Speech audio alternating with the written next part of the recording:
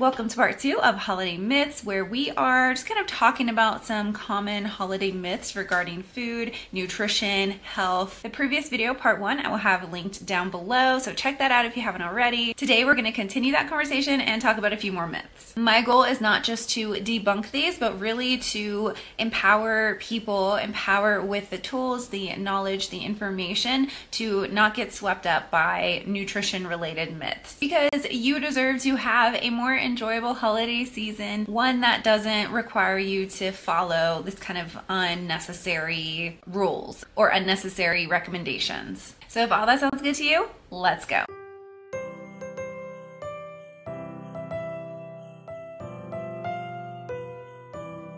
Hi folks, welcome to our channel or welcome back. My name is Kat. I'm a licensed registered dietitian nutritionist and on this channel I like to talk about weight inclusive and weight neutral focused approaches to health as well as diving into scammy in my opinion unethical nutrition related businesses, products, mostly nutrition related MLMs and other fear mongering nutrition related claims. Let's go ahead and dive into a few more holiday related myths. Really, these can be taken into consideration or these also apply throughout the rest of the year. Diet culture does not take a break, but I typically see it a lot around the holidays as well. So, the first myth is that eating certain foods will boost your metabolism and therefore have an impact on your body composition or to burn fat. Now, you might see this regarding specific foods or specific like food supplements. Something that comes to mind is like a green tea kind of supplement, and also like chili peppers or certain spices you can use in your food or with your food. But how true are those claims? Let's talk about it. So, some foods do seem to have a small thermogenic kind of effect in our body. That's just like a fancy word, a way of saying that it can increase your metabolism a little bit, which would then increase your calorie burning rate. However, it's pretty small. It's pretty insignificant. There is not a specific food or a specific supplement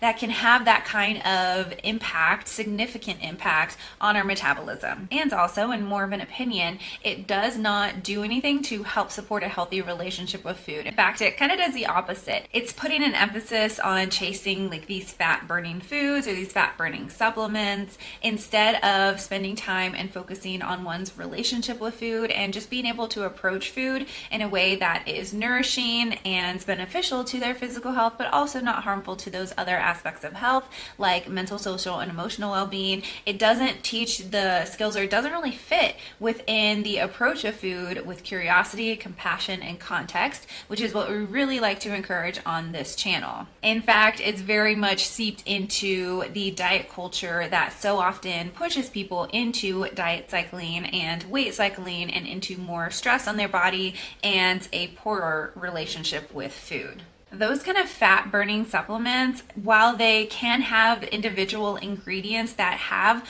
a slight lift or a slight increase in metabolism, again, it doesn't last long, it's not significant, and there could be other kind of contaminants in those supplements or interactions with specific medications that are being taken, or even just health status overall. If someone has blood sugar related concerns or blood pressure related concerns or other concerns as well, it's just not something that you would find most registered dietitians. I can't think of any registered dietitians who would push a kind of fat burning supplement. It is just not something that you're going to see a reputable healthcare provider recommending because it is not anything that's going to be significant and it can do more damage than good. We see these kind of supplements a lot in nutrition related MLM companies. So many of them have their own versions where you'll see a kind of blend that might be similar but with little differences here and there of the ingredient label and especially with the cost of those, it's just not something that I would recommend. Instead, I would encourage people to focus instead on what they can add into their intake that's going to help provide them with nourishment. See how we can get more vegetables in their intake, more fruits, more water, see if we can make some changes to improve their sleep, consistency in movement, and just various things that are so much more evidence based than a fat burning supplement that's going to boost your metabolism awesome. If somebody's going on this kind of like detox where they're drinking this beverage that has like spices in there and green tea, like chili peppers in there to help boost their metabolism, they're probably going to see some weight change, but it's not going to be because of those things. It's going to be because they're just trying to survive off of that kind of supplement or that kind of drink, those detox kind of programs. Also, Loki says hi. He says no metabolism boosting supplements. I see a lot of promotion of these kind of detoxes and like metabolism boosting foods and supplements, especially around this year with the like talk about how holiday eating is and how this is a great way to kind of counteract that.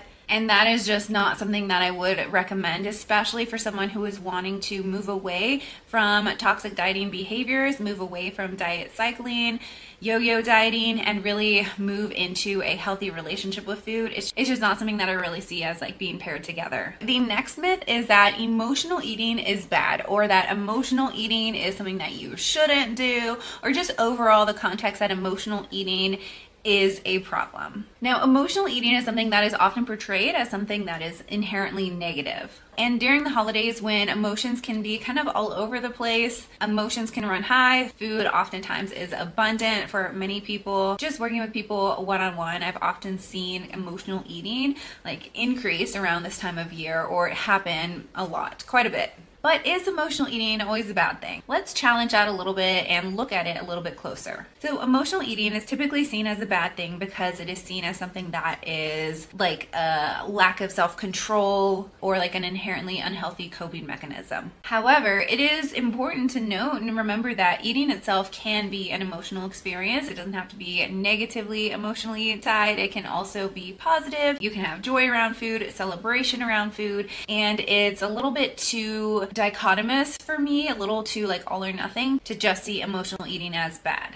Also, remember that food is not just fuel, it is our culture, memories, experiences, joy, connection, and eating in response to emotions is a very human behavior and is not inherently a bad thing. When we turn to food in response from emotions, in a way, that's like a signal to our bodies that there might be something going on, like in our mind, something that our bodies or our mind is trying to tell us. Maybe we have emotions that aren't uncovered yet, maybe they're a little bit kind of subconscious going on. Maybe we're seeking some comfort or feeling a little bit stressed or overwhelmed, or perhaps wanting to use food to celebrate and share joy. Either way, emotional eating can clue us into some emotional states or even some unmet needs like even the unmet needs of our core human needs, which there's so many. The key here is awareness. By being mindful and exploring our eating patterns, we can learn a lot about ourselves. It's an opportunity to kind of take a pause and just think, what am I really feeling? What do I need right now? Sometimes that answer might be comfort of food, and that's okay. Other times it might be a different approach of support or self care, and that's also okay. That's great. That does not mean that we should only handle our emotions with food. That is not the case. It's having a balance and recognizing what those needs are and how we can have healthy coping strategies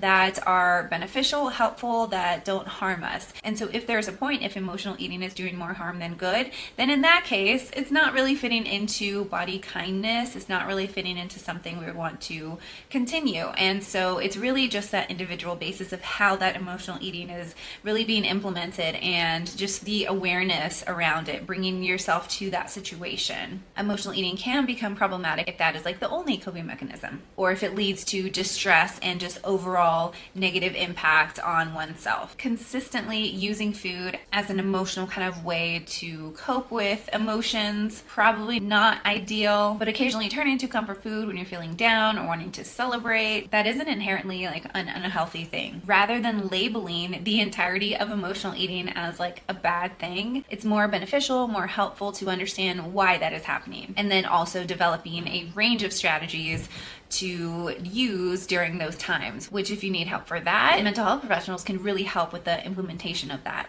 So, this holiday season, let's just reframe the idea of emotional eating being bad. Recognize that it's a very much normal part of the human experience, and we can focus on developing a really compassionate approach for those emotions rather than like guilt or shame around emotional eating. All right, so now let's move into myth number three, the final myth for this video, and that is the idea that you have to count your macros for fitness in order to like keep your fitness in the holiday season. Now, this myth stems from the idea that you have to count macros in order to be physically healthy, that one must like meticulously count their protein and their carbohydrates and their fats. And sometimes, I don't know if it's just like the space that I'm in, sometimes people, especially athletes, can feel like they really need to dial it in and focus in on that in the holiday season so that they don't like lose their health or lose their fitness. Now, overall, understanding the macronutrient breakdown, it can be helpful. It's not the end all be all of nutrition. Not everybody needs to count their macros or learn how to count their macros. I would not recommend it for the vast majority of people. For many people, they find that when they are really focused on those, that can take the joy, a lot of the joy out of eating and just having a healthy relationship with food, learning how to approach food with curiosity, compassion, and context, and really listening and recognizing those more subtle hunger and fullness cues and just overall what their body is needing. It can kind of cloud those out a little bit. Having a rigid approach of needing to meet meet your macro goals is not necessary for physical health. Our bodies sometimes have more energy expenditure or less energy expenditure on some days versus other days. Like sometimes our bodies need more or less food. Now, with sports nutrition, I do work with a lot of athletes, and some people really do appreciate or want to have a more macro focused approach. And I just really encourage people to recognize how that fits into their lifestyle and how much time and energy that they want to put into their food and to their health because because it's certainly not necessary and can sometimes take a little bit longer. It takes a little bit more mental energy for planning and preparation and just calculating. Now, this might be a little bit of a hot take, but I have worked with a lot of high level athletes and we have found that you don't need to count macros in order to improve your performance. Now, some athletes do really like to have that approach and that focus. It is not up to me to tell people what like they can and can't do. Like part of me being a registered dietitian, especially one who focuses on the coaching aspect side of things, like it is not up to me to tell them that they should do this or they shouldn't do this. It's more of that guidance and it really just depends on the person. Sometimes people might find that they want to track their protein intake just to make sure that they're meeting that because they typically find themselves under consuming that. So that might be their approach rather than the other kind of macronutrients. It can really just it can look different for a lot of people. But I will say that counting macros is not necessary necessary for the improvement of health. Or sometimes if someone has like diabetes, they might need to count their carbohydrates if they're taking insulin, and especially when they're starting out and they're just kind of figuring out the carbohydrate grams to the insulin units that they're using. So like they're always, again, I don't really like dichotomous things and all or nothing kind of thing, but I will say that I've worked with many, many people and we can see an improvement in performance without needing to count macros. Moving away from something like macro counting can be a little bit challenging. There's a lot of skills within building and supporting a healthy relationship with food, and so it's not something that I ever expect someone to completely shift off of macro counting. That's not realistic. That's not really kind to expect that of someone, in my opinion. So the myth of counting macros during the holidays to like keep your fitness, not necessary, but the implementation, if somebody is used to that approach, the implementation without that, there are skills around that, and that can be kind of scary to step away from which, side note, is one of the reasons why I created the Unlock Nutrition and Food Freedom community. It's basically just a project where I am focused on helping people with the implementation, moving away from traditional toxic dieting behaviors, and really being able to approach food with that curiosity, compassion, and context, and building and strengthening a healthy relationship with food. More information is in the description box if you're interested. All right, so in summary of this video, I hope you feel a little bit more informed, a little bit more hopefully empowered in your approaches around food. I'd love to hear from you. Are there other myths that you hear constantly or consistently around this time of the year or other times of the year? Feel free to share your thoughts in the comments. If you have not already, please leave a like on this video and make sure you're subscribed. If you would like, I would greatly appreciate that. There are so many more myths to talk about, to unpack, so if you have any questions, feel free to leave those down below. And remember, you can strive for health without subscribing to diet culture. I'll see you later. Bye.